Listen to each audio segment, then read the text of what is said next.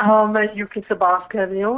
Actually मेरा मसला ये है कि मेरे हस्बैंड है वो चार्टेड अकाउंटेंट हैं। तो मुझे उनके लिए ये चाहिए था कि उनके क्लाइंट्स नहीं आते हैं ना।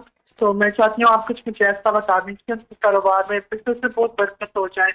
बहुत मेहनत करते हैं लेकिन क्लाइंट्स बहुत कम होते हैं। तो वो कहते हैं मेरे क्लाइंट्स ज़्यादा है। तो उसके लिए आप मुझे कोई ऐसा वजीफा बता दें। और दूसरा ये कि मेरा अपना एक बड़ा घर हो जाए यहाँ पे। क्लाइंट्स अगर ज़्यादा आए तो फिर आपका नींद नहीं आएगी फिर आप वो क्लाइंट्स को संभाल नहीं सकेंगे। और अगर बड़ा घर मिल गया तो फिर वो मेरी अम्मा के पास ना भाई आई बैठी थी पुरानी बात है। मेरी अम्मा के पास एक खातून आई बैठी थी तो कहने लगी, मासी, वड्डा घर गिदम चेल कंडा हिक थी कि बड़ा घर लिया है, मेरी कमर टांगे खत्म हो गई हैं, सफाइयाँ कर कर।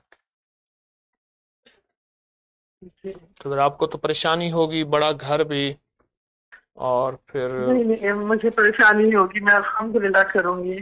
बस ये कि अभी अभी जो घर है, उसमें बच्चे माशाल्लाह ज़्यादा हो गए हैं, सब छोटे पड़ गए तो मैं कहती हूँ बड़ा घर हो जाए। तो मैं नियत करती हूँ कि मैं ज़्यादा मेहमान बुलाऊँगी सबको। इंशाल्लाह नमाज़ की भी मेरी काफ़ी नियत बस मैं चाहती हूँ बड़ा घर हो जाए मेरे हस्बैंड के बिज़नेस में बहुत तरक्की हो जाए वो बहुत मेहनत करते हैं बस करते हैं क्लाइंट्स नहीं आते बहुत अच्छा। कम होते हैं। आप सुने।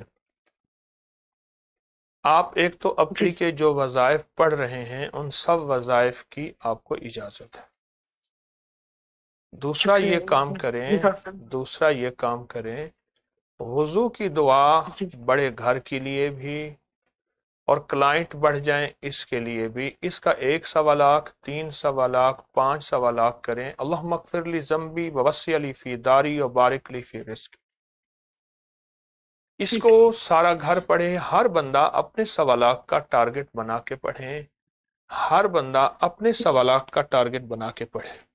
लोगों को अपनी यूट्यूब चैनल हर वक्त सब्सक्राइब कराएँ। आप दूसरों के लिए सदका जारिया बनेंगे। अल्लाह पहले आपकी मुसीबत टालेगा।